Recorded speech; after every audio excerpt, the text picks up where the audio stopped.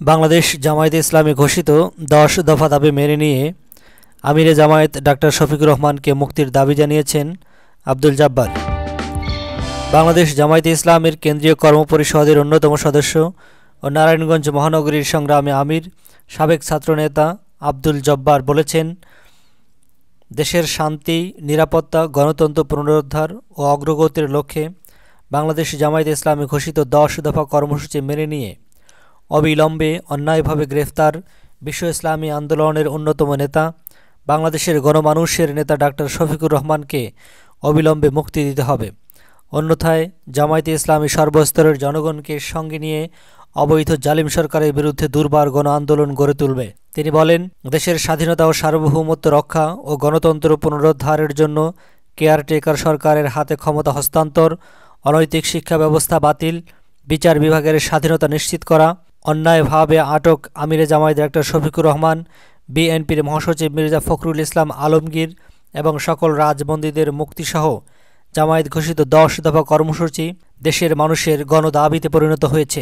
তাই এই দাবি না মেনে সরকারের সামনে আর কোনো পথ খোলা নেই। সরকার যদি শান্তি চায়, দেশের মানুষের কল্যাণ চায়, গণতন্ত্রের প্রতি শ্রদ্ধাবোধ থাকে এবং আইনের প্রতি যদি শ্রদ্ধাশীল হয়, তাহলে অবিলম্বে এই দাবি মেনে নিয়ে পদত্যাগ করা উচিত। তা না হলে দেশের আপামর জনতা অবৈধ সরকারকে দাবি আদায়ে বাধ্য করবে।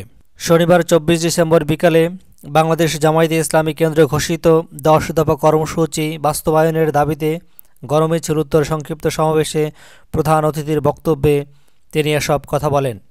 জামায়াতে ইসলামী নারায়ণগঞ্জ মহানগরী ও জেলার যৌথ উদ্যোগে নগরীর শিবু মার্কেট বাসস্ট্যান্ড এলাকায় অনুষ্ঠিত মিছিল উত্তর।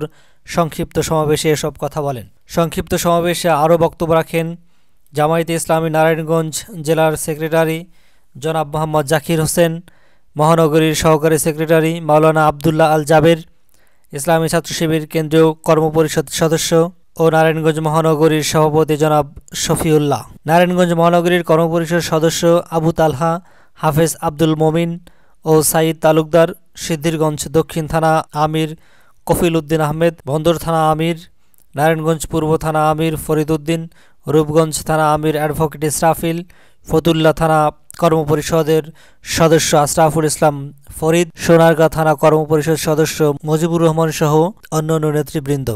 মিছিলটি শিবু মার্কেট বাস স্ট্যান্ড থেকে শুরু হয়ে স্টেডিয়ামের সামনে সংক্ষিপ্ত সমাবেশের মাধ্যমে শেষ হয়।